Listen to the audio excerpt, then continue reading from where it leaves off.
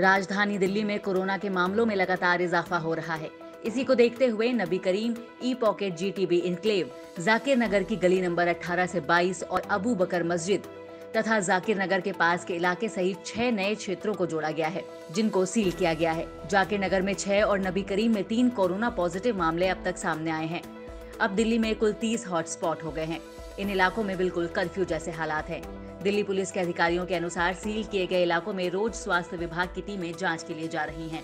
दरअसल लॉकडाउन में दैनिक उपयोग की वस्तुओं की खरीदारी की छूट रहती है लोग सब्ज़ी, राशन और दवा खरीदने के लिए घरों से बाहर निकल सकते हैं, मगर सील करने के बाद वे घर से बाहर भी नहीं निकल सकते